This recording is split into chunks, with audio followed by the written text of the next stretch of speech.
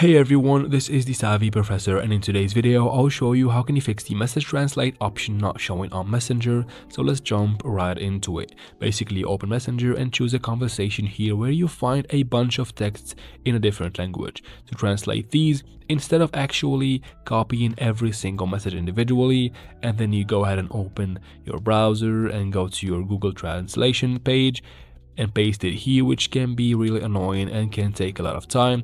What you can do instead as an alternative is to actually go back to Messenger and here what we need to do is to take a screenshot of the conversation as a whole right here as you can see guys. Once you do that, you quit from Messenger. Now let's open our gallery and locate that picture or that screenshot.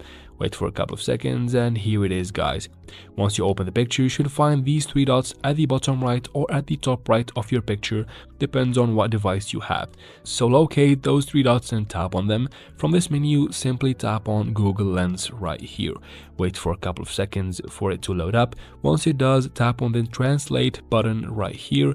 Wait for a couple of seconds and voila the texts have been translated to English successfully from Spanish to English within seconds just like that.